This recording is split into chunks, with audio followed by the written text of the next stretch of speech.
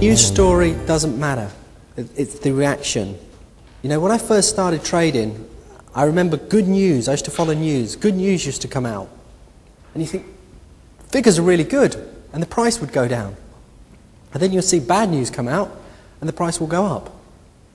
You've got to remember, stock markets look ahead.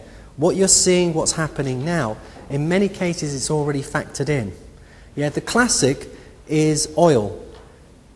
War is declared in Iraq. What happens to oil prices? Go down. And everybody says, no, it should go up. Well, no, because it had already been factored in ahead of time.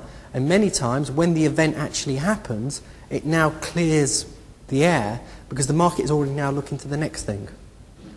So, you know, be careful about sometimes when people start reading things and it's not what you expect.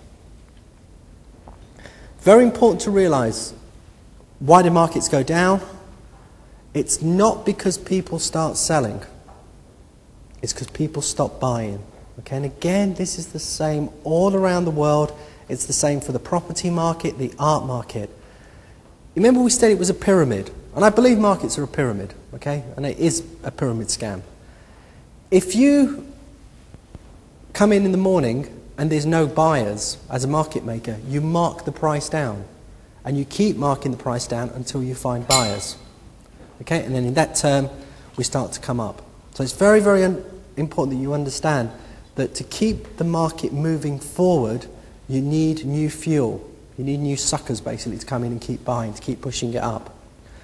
And also remember, you know, every seller basically wants the highest price, every buyer wants the cheapest price. Now, sometimes people say, oh, there's been more buyers than sellers today. Well, that's not true because there's always a buyer and there's always a seller, isn't there? It's always got to match up. The price they paid could be different, um, but, you know, every buyer matches a seller. So it's always, it's always got to match up between the two. The other thing you've also got to understand is contra movements. The biggest down move happens in an up market. And some of you saw what happened to gold just recently, where gold basically dropped, you know, $40, $50 very, very quickly. Does that mean that the whole thing for gold is over? No. What you tend to find is when something is going up, especially quickly, you'll get sharp down moves. Okay, shakes out all the weak holders, gets all the weak people stopped out, and then we're off again. And same again when we're in a down market, we get some big spikes up. Okay, and again, this could be any market, but understand Nothing goes up or down in a straight line. Most people in this business are undercapitalized, the small traders. What do I mean by that? They're carrying too big a trade for the size of their account, or they've put the stop in the wrong place. And I see this all the time. I run something and, called uh, It's a lot simpler than you think. When we buy stock, remember what you're buying. Worthless pieces of paper. Okay, whether you go long on any share. And now you don't even get the paper anymore. We don't even use the certificate. Nobody needs this. And the illusion, you know, as the price moves up and down, you know, like with a painting, a painting's not worth 60 million. Some of you have probably seen the art market's on fire at the moment. It's doing very, very well again. And a lot of that money is money that's been siphoned out of the stock market or siphoned out of currencies.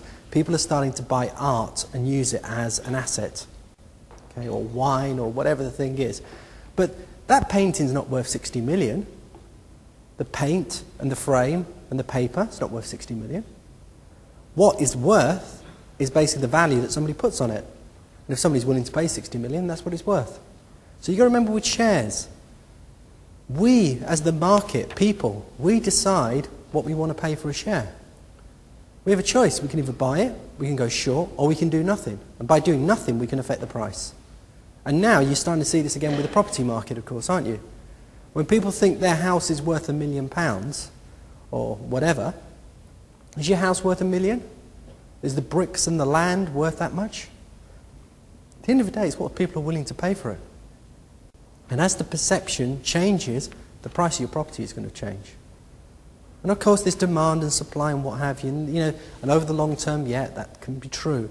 But what makes something change in price is your perception and what you're willing to pay for it. And remember with stock, we're always looking for, you know, anyone that buys shares, including me, we're stupid. Right? We've bought a worthless piece of paper. And when I say share, it could be a covered warrant, it could be anything. But our view is that there's somebody who's even more stupid than me who's willing to buy it at a higher price. But that's always what you've got to remember. Nobody needs to own any shares, but it's the perception.